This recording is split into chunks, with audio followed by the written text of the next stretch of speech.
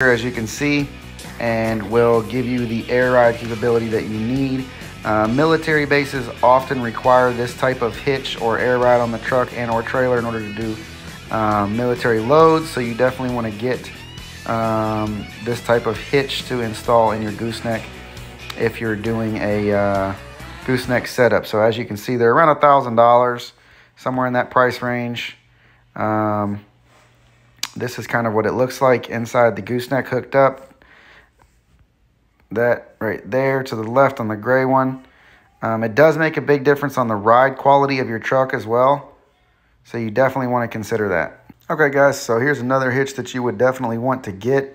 Uh, this is actually the Hot Shot Series kit.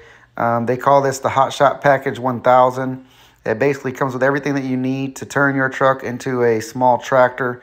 Uh, a lot of guys buy the 5500 series trucks for this, but it also